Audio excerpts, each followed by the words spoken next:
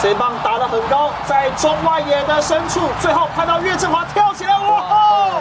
新一代的蜘蛛人诞生了，岳振华，他不让右外野手张志豪专美于前，神败。这种美技的手背我也会啊！